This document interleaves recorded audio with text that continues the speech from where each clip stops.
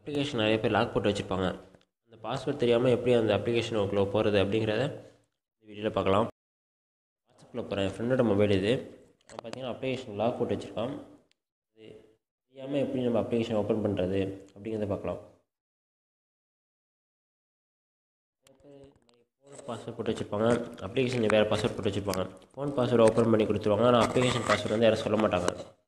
வந்து இது மாதிரி போட்டு வச்சா ரொம்ப சேஃப் இல்லை அப்படிங்கிறதுக்காக இந்த வீடியோ செட்டிங்ஸ் போய்க்கோங்க. செட்டிங்ஸ் போயிட்டிங்கன்னா அதில் வந்து ஆப்ஸ் மேனேஜ்மெண்ட் இல்லை அப்ளிகேஷன் மேனேஜ்மெண்ட் அப்படின்னு இருக்கும். ஒரு ஒரு ஃபோனுக்கு வேறு வேறு மாதிரி இருக்கும். நீ அவங்க யூஸ் பண்ணுற எல்லா அப்ளிகேஷனும் அதில் இருக்கும்.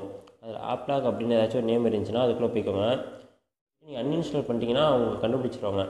நீங்கள் வந்து அப்ளிகேஷனே எடுத்துட்டீங்க அப்படின்ட்டு. அதுக்கு லெஃப்ட் சைடு பார்த்தீங்கன்னா ஃபஸ்ட்டு ஃபோர் ஸ்டாப் அப்படின்னு ஒரு ஆப்ஷன் இருக்கும். பண்ணிட்டீங்கன்னா ஃபோர் ஸ்டாப் அப்படின்னு கேட்கும். அதை கொடுத்துட்டிங்கன்னா ரெண்டு நிமிஷத்துக்கு வந்து அந்த அப்ளிகேஷன் வந்து ஒர்க் ஆகாது.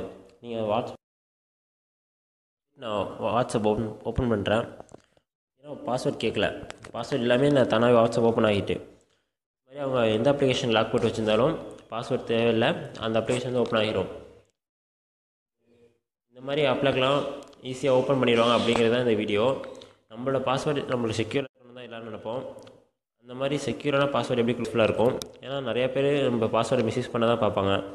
ஓப்பன் பண்ணி பார்க்கலாம் நம்ம என்ன இருக்குது உள்ள அப்படின்னு தான் நினைப்பாங்க. உங்களோட பாஸ்வேர்டு யாரும் ஓப்பன் பண்ணாமல் இருக்கணும்னா என்னோடய நெக்ஸ்ட் வீடியோ பாருங்கள் இந்த வீடியோ பிடிச்சிருந்தா லைக் பண்ணுங்கள் இது உங்களுக்கு யூஸ்ஃபுல்லாக இல்லாட்டி உங்கள் ஃப்ரெண்ட்ஸு கண்டிப்பாக யாருக்காச்சும் யூஸ்ஃபுல்லாக இருக்கும். இதை கண்டிப்பாக ஷேர் பண்ணுங்கள் தேங்க்ஸ் ஃபார் வாட்சிங் திஸ் வீடியோ